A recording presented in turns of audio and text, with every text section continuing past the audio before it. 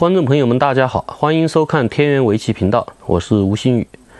今天的棋子的艺术呢，我们给大家介绍一盘这个快棋啊，这是日本的 NHK 杯比赛八强赛中的一盘棋，对阵的双方呢是高尾深路对日本的这个呃棋坛的第一人井上裕太，我们来欣赏一下这盘棋。这盘棋呢是由这个高伟啊执黑，现在呢他与这个小尖，嗯，这个 NHK 杯呢是一个快棋赛啊，和中国的 CCTV 杯这个是赛制呢是一样的啊。那么呃，在快棋赛中呢，难免有时候呢会有一些这个呃。计算上的失误，因为时间比较紧嘛，也可能呢棋谱上呢有时候不像那慢棋啊下的那么严谨，但是呢，嗯，这个在快棋赛中呢，经常呢也会出现一些这个精彩的这个构思啊，也不能就是说，呃，就是快棋赛，呃，那么质量呢就不好，这不一定啊。那么尖这个的话呢，对白棋呢发动冲击，白棋呢稍微有一些难受啊，如果。简单的爬的话呢，那么黑棋冲啊，白棋这个补的话呢，这里明显呢，以后呢有个这个冲断的这个味道。嗯，虽然暂时呢可能不行，那这个还能粘上，但是呢以后这个余味啊还是非常的这个讨厌的。所以白棋呢，嗯，这个硬呢总是要被黑棋便宜，所以干脆呢。这个井上呢选择了反击，直接靠，再断啊，再断。那么呃，这样的话呢，黑棋呢呃不好粘啊。如果粘的话呢，那么白棋再走，这样呢呃白棋这个子啊反而把黑棋呢走中了，不好补啊。补在外面呢要被滚打，补在这里呢以后还欠一手啊。所以黑棋呢就干脆吃，那么白棋再打吃啊，这样白棋防住了这个黑棋的冲击的同时呢，还把这颗子吃掉啊，这个目数上呢是有收获。当然不好之处呢，就是说被把黑棋这里呢给走后了，那么黑棋后了以后呢，很显然在一正头啊，对这块白棋呢发动这个进攻。不过，虽然呢对白棋发动进攻，白棋呢也是有这个有备而来的啊。这个就是对上面这块孤棋呢，它处理呢这个也是有所准备的。接下来呢，白棋首先这步棋下的呢非常的漂亮，跳形状的要点啊，这个呃显示出这个非常深厚的这个功力啊，不愧日本棋坛这个第一人。跳这个呢，嗯，相比如果说是普通的挡一个啊，这个就有点熟了。那么呢，黑棋肯定抢占了这个搬粘。那么搬粘以后呢，黑棋这一块啊就都处理好了。白棋呢，这个外面呢，由于有断点，还得继续补棋啊。那么补完这个以后呢，嗯，在这一带以后，黑棋呢还可以对白棋继续呢发动这个冲击。白棋呢不是很舒服啊，白棋这个处理起来呢不是很舒服。那么跳一个啊，不给这个黑棋底下这个眼位，这个黑棋呢这个有点被逼无奈，只能呢跟着白棋的这个步调行棋，因为黑棋是没法脱先的，是吧？没有办法脱先。这个如果脱先的话，白棋冲。冲完扑啊，这个是常用手劲，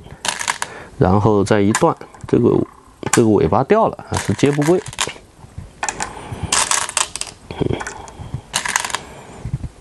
这四个子，这四个子是接不归掉了啊，这个当然肯定是不行的，这个打吃一下也没有用，所以黑棋呢肯定不能脱线啊，那必须得走。那么走的话呢？委屈的粘上，当然也不能考虑，因为你这个委屈粘上以后，白棋一粘呢，由于这里是一路度过啊，以后被白棋一冲呢，这个地方等于没有一这一目棋都没有啊，以后呢还全得粘回去。这个角上被搜刮的还是比较厉害的啊，比较厉害。这样呢，肯定黑棋不肯。所以黑棋呢也只有冲啊，因为反击，白棋搬。黑棋当然不能打吃，打吃被白棋滚打完了，一冲，这个就是说是不行。那么黑棋呢，只能挡住，白棋吃一下啊。现在就是说呢，黑棋由于这个地方啊，实际上可以看作这个样子啊，可以看作这，由于这个地方是一路度过啊，等于黑棋呢必须在上面确保一只眼位啊。确保一只眼位呢，才能把这些都变成这个目啊，不然的话，一旦没有眼呢，首先局部啊，就是说这地方目数全没了，而且还关系到角上的这个死活啊，因为这边没有眼的话啊，白棋以后一尖尖完这一点，这个角上是还是个金贵角啊。这个是死是活，还得且得头疼一番。呃，目数呢就更提不上啊。白棋最不济的话，和黑棋走个双活是没有任何问题的。所以说，黑棋一定呢要在上面啊，确保一只这个，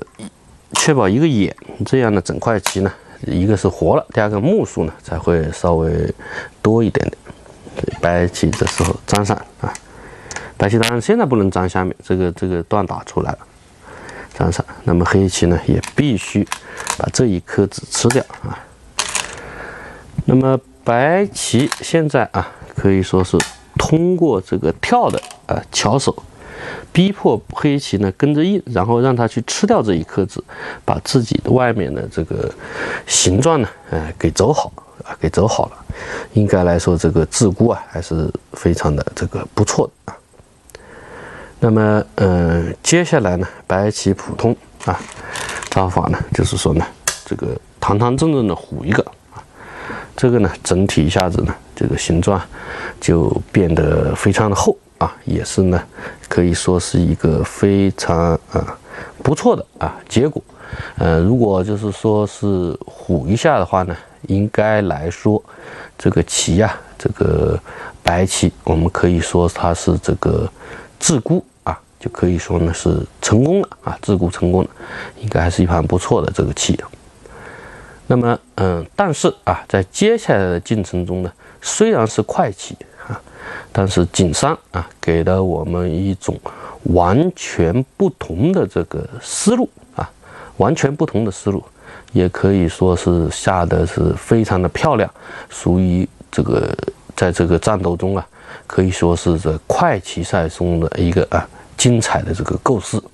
我们来看看白棋他的想法又是什么样的呢？来看一下，刚才也提到啊，如果堂堂正正的虎一个呢，这个整块这个孤棋马上就处理好了啊，就是说本来跑孤棋是很辛苦的，那么呢，呃，就马上一虎就可以处理好，应该来说可以松一口气了啊。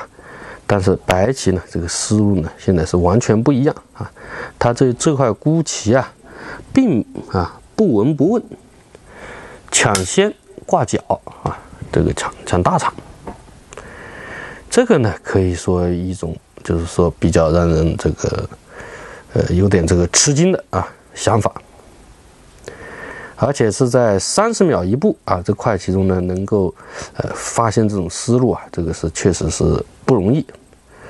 那你不虎的话，黑棋这个点当然是啊，哎，必然的一手，这个也是个好点。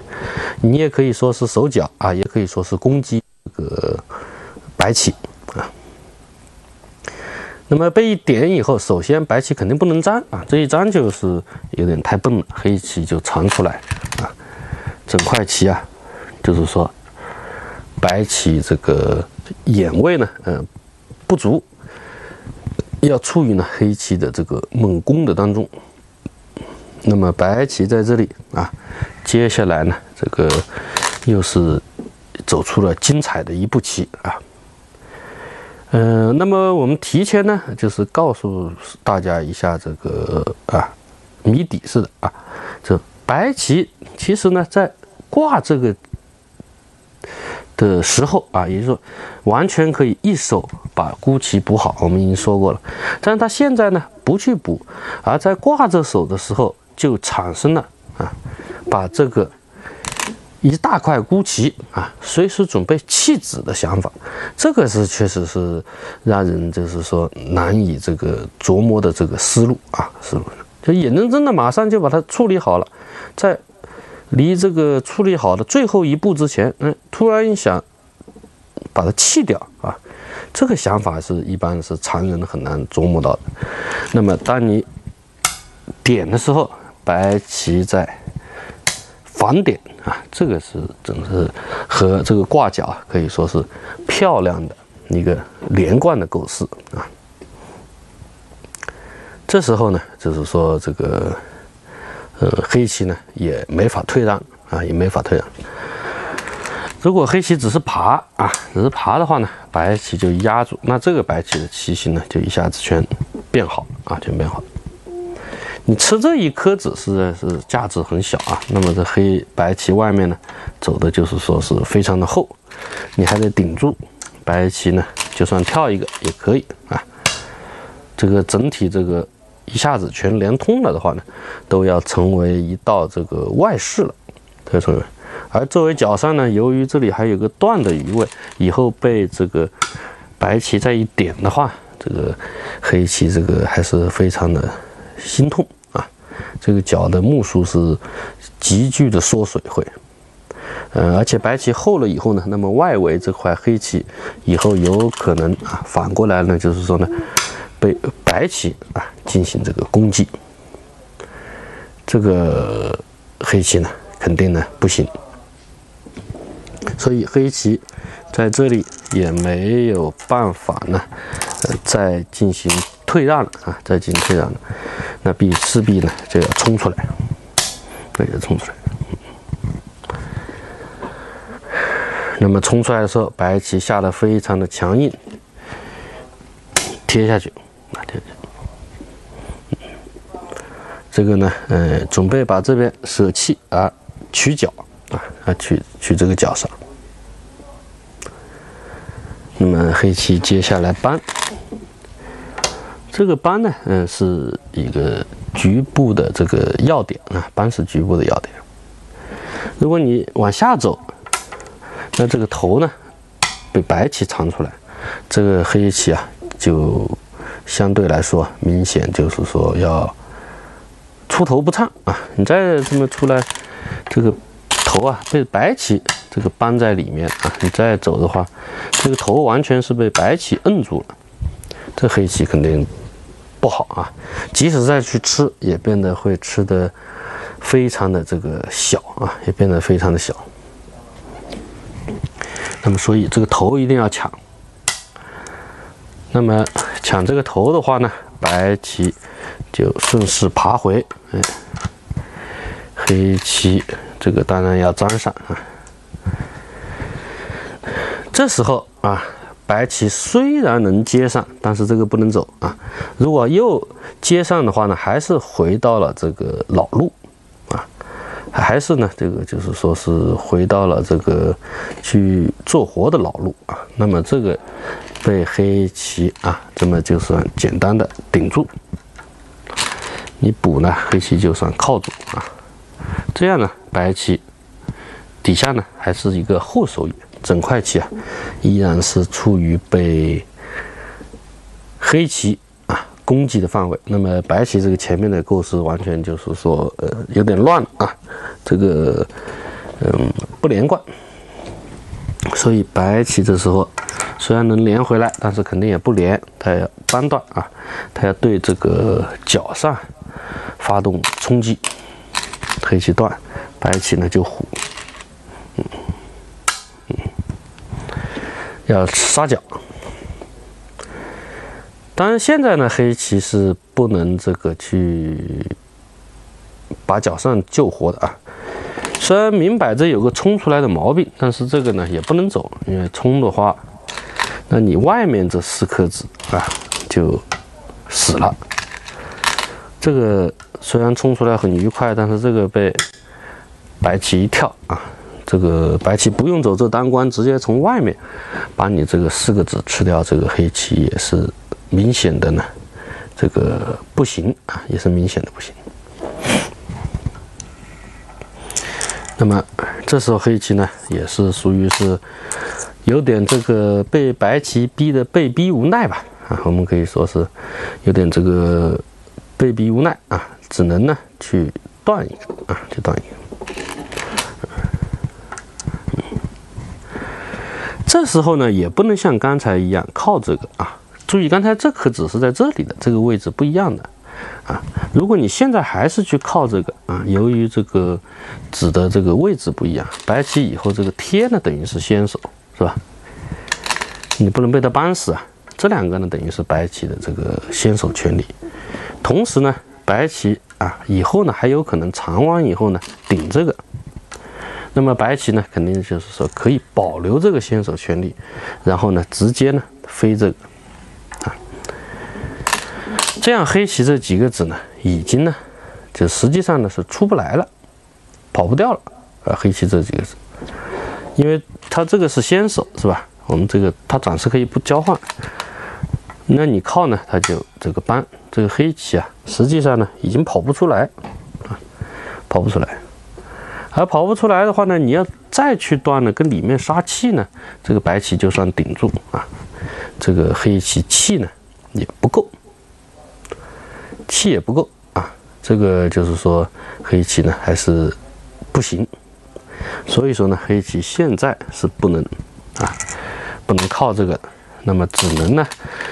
被逼无奈啊，在白棋的逼迫下呢去把这个断开啊，去杀这块白棋。那么都进行到这了，白棋当然呢也呢就是说呢不会。轻易的再去逃跑啊！那么既然呢已经准备转换了啊，这个准备弃子了，那么呢这个就要杀黑棋的角了。但是杀黑棋角的同时呢，白棋也没有急急忙忙的啊，就是贴一个，这个呢，哎，基本上是能杀到。现在黑棋当然不能靠，如果你长的话呢，这个一跳啊，这个局部来说啊，肯定是白棋把黑棋杀了。但是你这么简单的走呢，被黑棋外面先借用几下的话呢，哎，那么这样黑棋呢就可以吃的比较舒服的啊，把白棋这一大块给吃掉啊。这里还有一些这个先手的借用。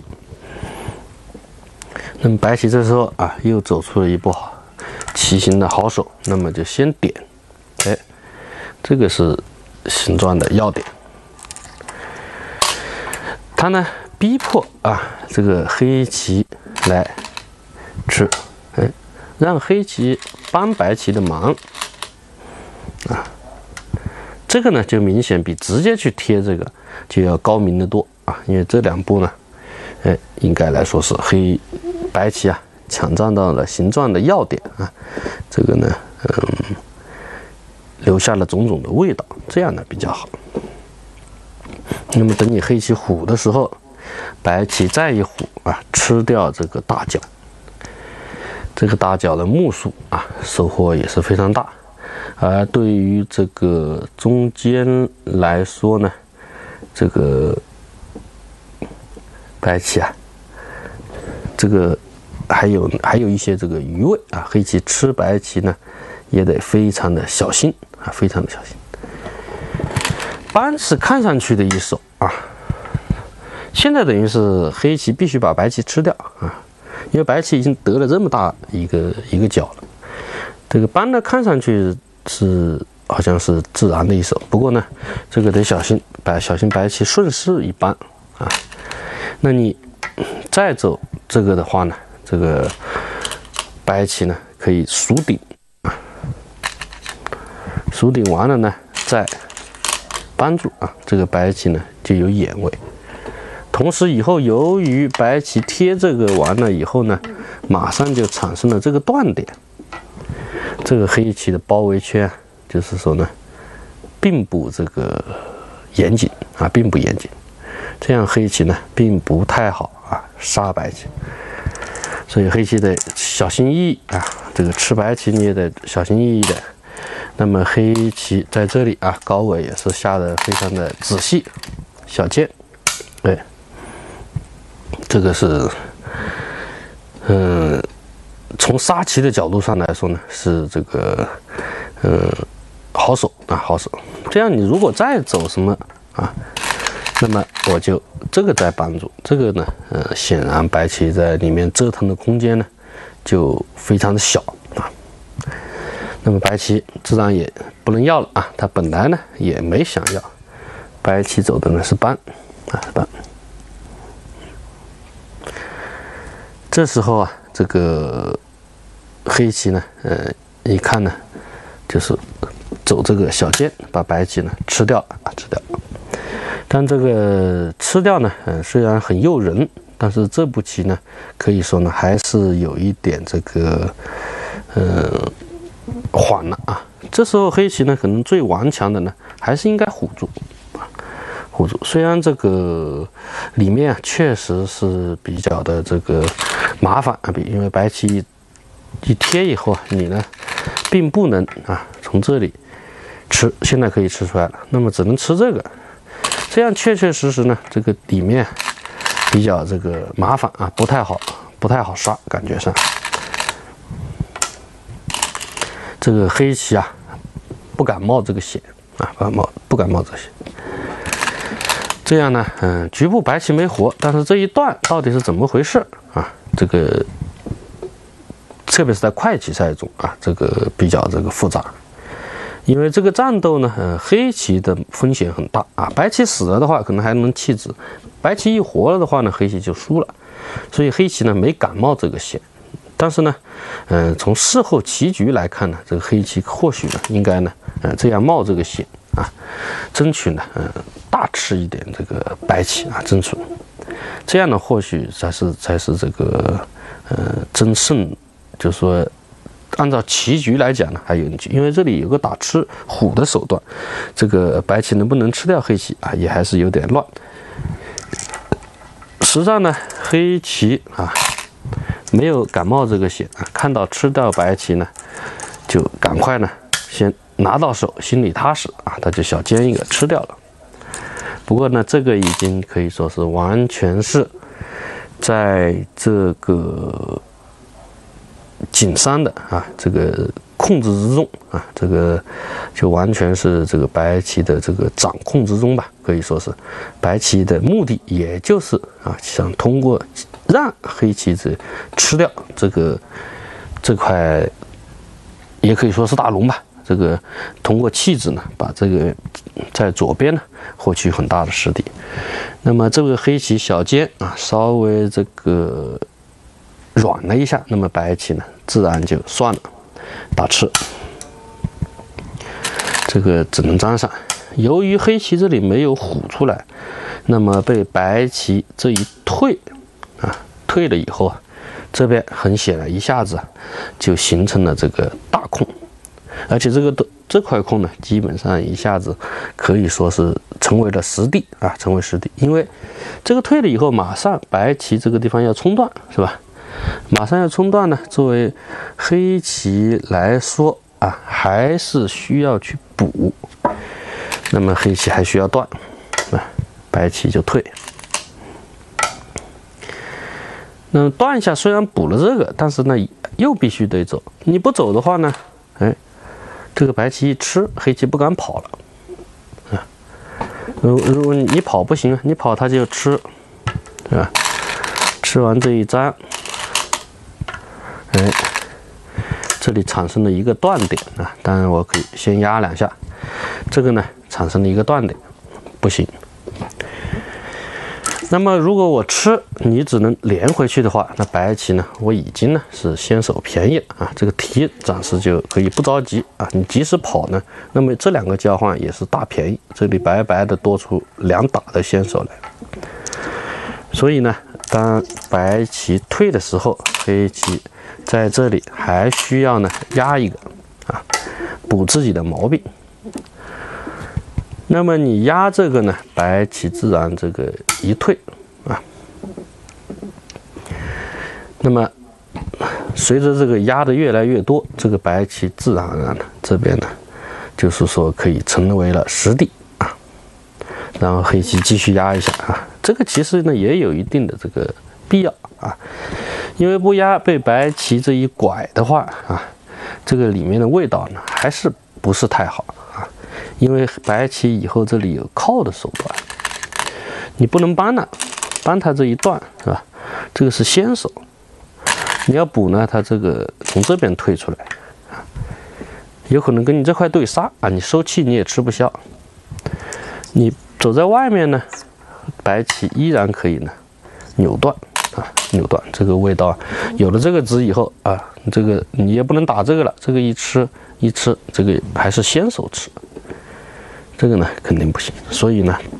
走完这个以后，黑棋还需要压一下。那么白棋一退啊，这边呢就可以说宣告完全呢成为实地。那么从这个卦开始。到此为止呢，白棋通过成功的通过这个弃子，那么呢获得了这个局面明显的这个优势啊。呃，简单的这个总结一下，我们看看黑棋吃了多少啊？这个算算账，这里是两目啊，八目九，呃，两目，这个八目是十目十一。五个子，二十一，二三，二四二，二六，二七，二八，二九，三十三，一，三二，三三，三四，三五，三六，三七，三八，三九，四十，四一，四二，三四，四六，四七，四十八，五十目棋啊，就是黑棋收获了这个五十目棋左右啊，啊，看上去确实是挺大，但是反过来想，看我们来看看白棋这个啊，这个一二三四五六七八九十十一十二，二十二，二三，二十二五，二六，二七，二八，二九，三十，四十，五十。啊，这个加上这里的话，有还有五十多了。就本来这边白棋什么都没有的啊，如果就单纯的补一个的话，黑棋还有个欣慰。那么现在实际上的，白棋啊，看上去只吃了两颗子，黑棋吃了白棋这么多啊。但是白棋通过这个巧妙的弃子的构思啊，白棋一算账呢，白棋所得的这个目数比这个黑棋这一块，实际上呢。还呢要稍微呢多一点啊，还实际上呢还稍微要多一点。那么呃，同时呢，白棋也甩掉了包袱啊，没有了任何包袱，还消除了黑棋星位一个子的这个威力。可以说白棋呢明显的取得了便宜，同时呢，这个整个棋全局啊，也可以说是这个白棋大优的这个局面啊，大优的局面。那么，呃，景山在这个快棋赛中啊，能够就是说有这么巧妙的构思啊，在一块孤棋马上就要补好了的情况下呢，突然啊，这个思路一转，这个呢，转为把这个整个孤棋给弃掉啊，获取这个脚上的实力进行这个转换，那么呢，也是非常的这个下的是非常的这个精彩啊，这个确实是，那么。呃，这个在这个局部的战斗中啊，这个白棋的思路呢，确实值得我们这个好好的这个学习啊，值得我们的这个这个好好的学习啊。那么白棋呢，已经是大优的这个局面啊，但是有时候啊，这个呃事情啊，并不是想象的这个那么呃完美啊，这个这个我们可以猜到了这个。过程，但是呢，没有猜到这个结果。呃，虽然景山在通过这个弃子啊，获得了全局大优，但是呢，由于在后半盘中啊，出现了一系列的重大的失误，这个最终呢，景山裕太还是。输掉了这盘棋啊，输掉了这盘棋，这个也是可以说是快棋赛中的这个一一种一一种魅力吧。就是说，嗯，不到最后就是你不容易猜到这个结果，但是结果虽然输掉了，但是呢，呃，白棋的整个这个气子的构思还是呢非常的漂亮，值得我们的学习。好的，今天的棋局呢就给大家介绍到这里，谢谢大家收看，大家再见。